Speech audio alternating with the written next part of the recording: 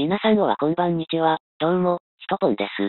今日はバレンタインですね。ここまで言えば察しのいい人は今から何をするかわかるよね。そう、今回はバレンタイン企画として、美味しいコロッケを作ろうと思います。なんでやねん？あ、いたんだ。暇だったからね。チョコとかないの？私がチョコを作ってるとでも、まあそうだよね。とりあえず本題に移ろうか。今回はバレンタインということでコロッケを作っていくよ。こういうのって小さい子がやるゲームじゃないの？ま、気軽にできる分いいと思うけどね。とりあえず正しい選択肢を選んでいくだけらしいから簡単だね。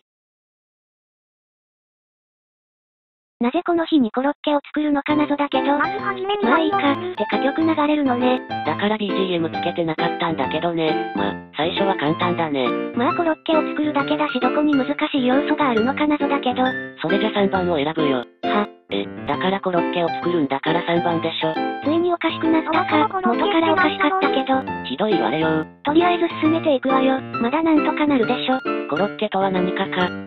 紙とやか紙とやかいせよ。紙とやかいせよ。選択しなかったわ。なんだこのゲーム。とりあえず紙と和解してみるわ。私は紙とやかいするコロッケですか何を言っているんだ。とりあえず蒸ししてじゃがいもを茹でてみるか。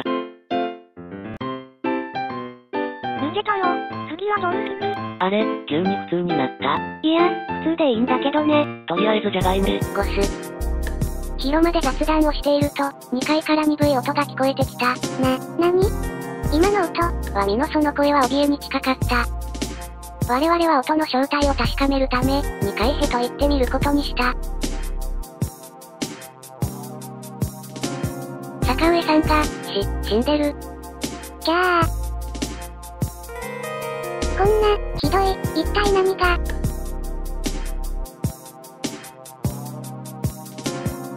ひとまず食堂に集まったが、皆落ち着かない様子だ。当然だ、人が死んだのだ。僕は思わずこう叫んだ。絶対に狂気ってさっき投げたじゃがいもよね。何のことかな。いや、だから、とりあえずすっぺらピッチョンで。すっぺらピッチョン。すっぺらピッチョン。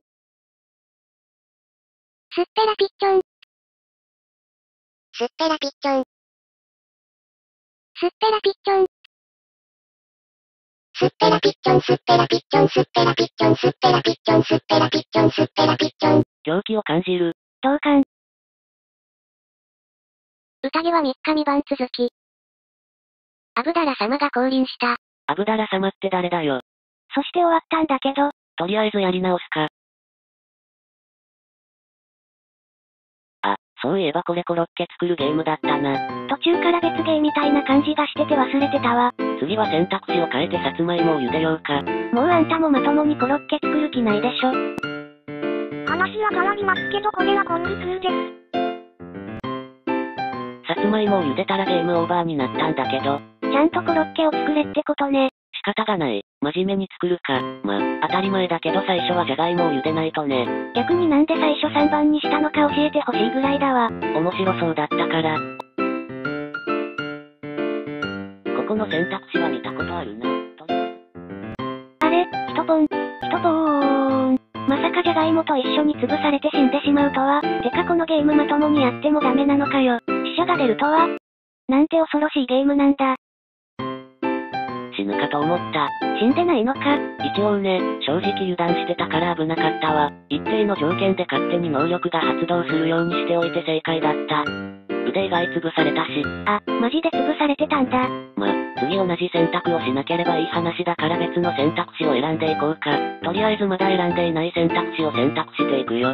そんなことはどうでもいいんですけどカレーって美味しいよね。確かにカレーは美味しいから好きだよ。あれ、コロッケは、気づくの遅いわ。まったく。これ本当にコロッケ作れるんでしょうね。いや、初見だし。そんなこと言われても、とりあえず次はこの選択肢を選ん。急に何か始まった。攻め来るスピード速くね。ロトに死んでるじゃねえか。あ、終わった。このゲーム展開が全く読めないわね。それじゃ次はこの選択肢だ。彼の死を無駄にするな。メンチができた。なんでメンチ？彼の死を無駄にするなってそういう意味じゃねえよ。なんかコロッケ作れる気がしなくなってきた。このゲームでコロッケを作れるビジョンが見えない。まったくだ。とりあえず全部の選択肢を選べばどれかは正解にたどり着けるわず。次はこれだ。犯人はこの中にいる。何かの名探偵が言いそうなセリフね。犯人はこの中にいる。え、私たちの中に人殺しがいるっていうの？そうだ。そんな、私はやってないわよ。俺だってやってないぜ。そりゃ犯人こいつだしな。そこに偶然通りかかったライオンの一家。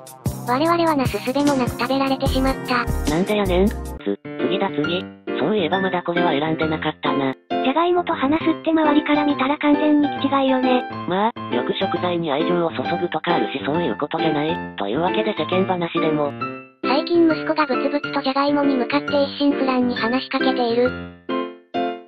じゃがいもが腐ってきたので捨てようとしたら魔王の手先と言われた。3日後じゃがいもさんの妹が危ないと叫び全裸で外へ、もうそれから3年戻っていない。マジで話してたよ。世間話で一心不乱に話すってどんな内容なのかしら。次、悩み相談をする。大変だ、日本語が通じてない。なんでや、さっきなんか妖怪、って喋ってたやん。次、じゃがいもを潰す。さっきみたいになるかもしれないから警戒しておきなさいよ。どうやら違うみたいだな。俺も年貢の納め時か。いつかはこうなると思ってた。さあ、ガツンとやりな。だが、一つだけ約束をしてくれないか。絶対に、絶対に立派なコロッケを。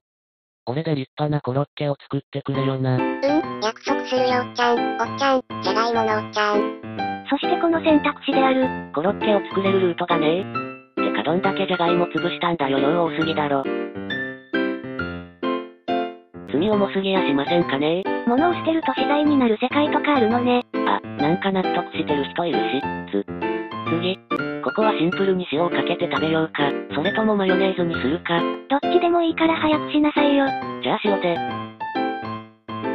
わーい、毒が入ってたよ。ちゃんとじゃがいもの芽は取っておきましょう。即死するほどの毒でもないけどね。もしかして、他殺。なんで検索結果みたいに言ってるのよ。とりあえず次だ。マヨネーズで食べるぜ。なんか爆発した。なんかってなんだよ。あれ、どうかした今のが、最後の選択肢だったんですが、コロッケ作れないのかよ。まったく。まあ、いい暇つぶしにはなったわ。それじゃ、私は帰るわね。オーケー、またね。じゃ。うーん、なんか物足りないよね。せっかくのイベント実況なんだし、実況と言えるかも怪しいが、とりあえずもう一つ面白そうなのあったからやってみようかな。これはゲームっていうよりか見るだけの感じみたいだけどね。イタリアン盆栽、盆栽なのにイタリアンとは、なぜ何動物ランド、すっげー可愛らしい番組に変わったな。ちなみにこれだけどさっきのコロッケを作ろうと同じ人が作ってるからね。なんとなくカオスだってことは予想できる。今のところそこまで変なところはないけど、いや、イタリアン盆栽があったか。これ花で何動物ランドがメインなのかな？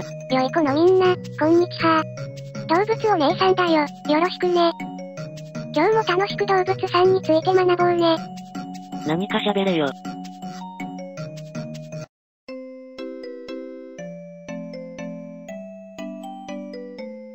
おい最後の2枚の写真何してるんだよ。オレオレ詐欺ではなく私私詐欺ってか。どうも、マリサだぜ。マリサ。いつの間に、いや、それよりもエデルデ・フォン・ビンデルクシンってのがめっちゃ気になるんだけど、早口言葉みたいな紙だな。コロッケを作ろうの時のアブダラシンといいよくわからない紙が多いな。アブダラシンってなんだ？さあ、スッペラピッチョンをすれば降臨するらしいぞ。スッペラピッチョン。何言ってるんだお前。おっと、あれ、さっき終わってなかったっけ？この番組。エデルデ・フォン・ビンデルクシンの番組が乗っ取られたな。なぜ何動物ランド何してるんだ？シルエットクイズか、子供向け番組ってこんな感じないやいやいやいや、もはや動物じゃねえよ。答える側も豆腐って、そりゃ外れるだろうな。どこからどう見てもハサミだし。てか豆腐から離れろ。てかそもそもシルエットが動物じゃない時点で切なさってなんだよ。しかもどっからどう見てもそろそろ豆腐から離れようぜ。なぜここでカンガルーが出てくるんだ謎すぎるぜこの番組。ペンギンどこ行くねんてか質問とか急にまともっぽくなったな。えっとねえっとね ごめん全然まともじゃなかった。なんとなく察してはいた。てか急に雰囲気が変わったな。推理物の番組かな。なんかの映画みたいなんだぜ。隔離されてそこで連続殺人事件か。なかなか面白そうな番組だな。サスペンスの話とか見たことないからな。機会があったら見てみたいんだぜ。違う、これサスペンスなんかじゃない？もっと別の何かだ。てか犯人お前なのかよ。隔離された島に最低でも3256人もいたのかよ。お急に戻ってきたな。おい。しかもペンギンなんでいるんだよ。てかなんでくんはどうした？速報、ペンギンは肉食だった。なんでくーん。またペンギンどこかに行くのかよ。てか動物お姉さんこの状況に気づけよ。現在主流の学説ってこれ絶対幼児向けじゃないだろ。凶暴。猫。俺の知ってる猫じゃない。てか毎回なぜチャンネルを変えるとおかしな現象が起こってるんだ。人が植木鉢に刺さってるんだぜ。さっきから気になるんだけどなんでくんのセリフ誰が喋ってるんだ。おいペンギン字幕の前に行くな。てか動物お姉さんは何を喋ってるんだ。まさにカオス。おい殺人犯何してるんだお前は。うわー。おい、チャンネル変えろ。あいえいえコロッケコロッケなんでなんでくんお前体がキリンになってるぞ。なんでくん何か喋れよ。てか後ろの絵はなんだ？意味がわからなすぎる。プリンターカラーって誰が喋ってるんだなんでくんお前もうちょっとまともなこと喋れないのかよ。プリンターから味噌汁って気持ち悪いわ。え、てかこれで終わり。プリンターから味噌汁で終わっちゃうの。でもどこからどう見ても終わりだな。めっちゃカオスだったんだぞ。まあ、ツッコミどころは多かったけどなかなか見てて楽しかった。というわけで今回のバレンタイン企画。そうだ、マリサ、チョコとかないの？チョコ？ああ、キノコチョコならあるぜ。キノコチョコ。ほい、ちゃんとお前さんの分もあるぜ。まだ終わってなかったか。スッペラピッチョン体操ってなんだよ。あれ宗教じゃなかったの。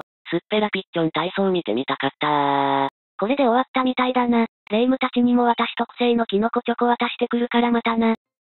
ふーん、キノコチョコか。初めて見たな。いただきます。うーん、本物のキノコにチョコがコーティングされてるだけだけど。